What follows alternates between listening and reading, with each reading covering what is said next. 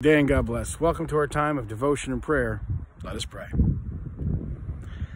Lord, you you take us to a place of peace and rest and truth whenever we set our hearts on you.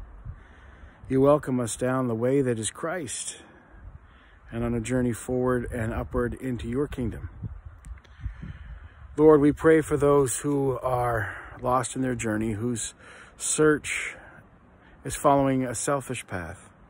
We pray for those who seek only that which satisfies their agendas, their wants and desires, and not your will.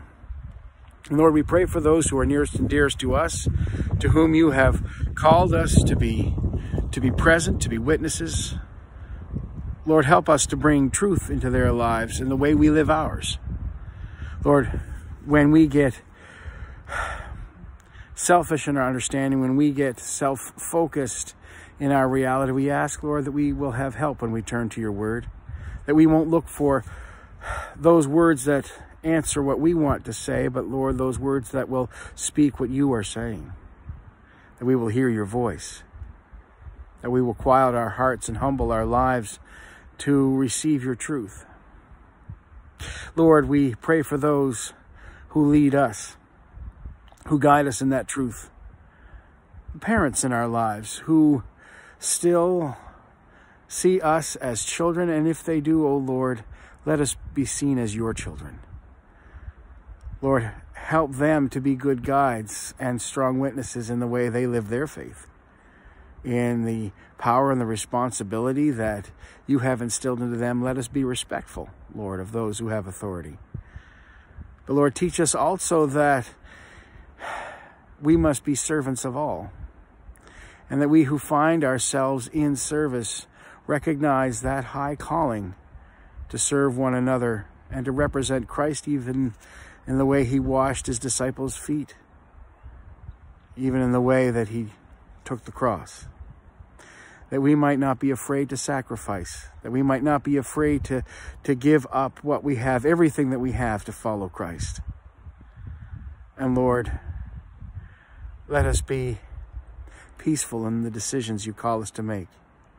That we will not be troubled or afraid, but in truth, obey your will. In truth, speak your truth.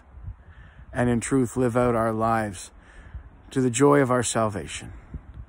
O oh Lord, we set our hearts upon you, even as we pray in Christ Jesus' name. Amen.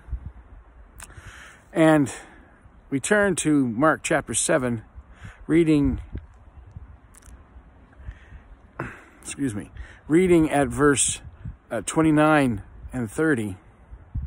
And Jesus said to her, For this saying, go thy way, the devil is gone out of thy daughter. And when she was come to her house, she found the devil gone out, and the daughter laid upon the bed.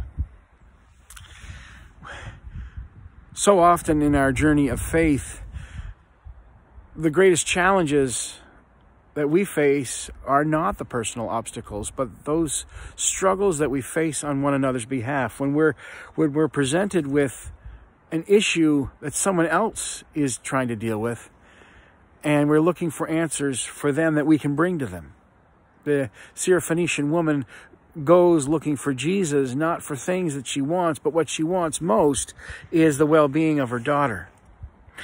And in that moment, it is through that stress, that strain, that trouble that she is drawn to her greatest conclusion, which is which impresses Christ.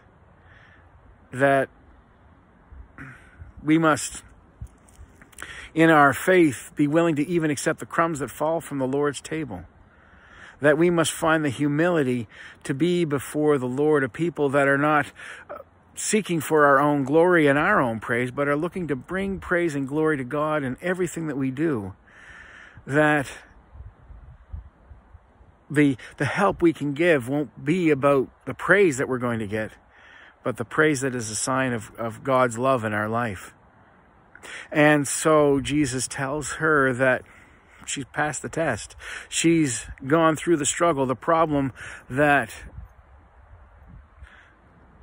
had barred her and barred her in barred her in the situation she was in from being a grace into those that she loved. And she brought that grace home.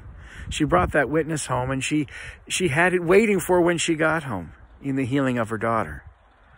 So may the message that we share today not just be for you but for those that you go home to love the the people that you go to to serve and to care for that god may be glorified that christ's love may be known. God bless and keep you. Amen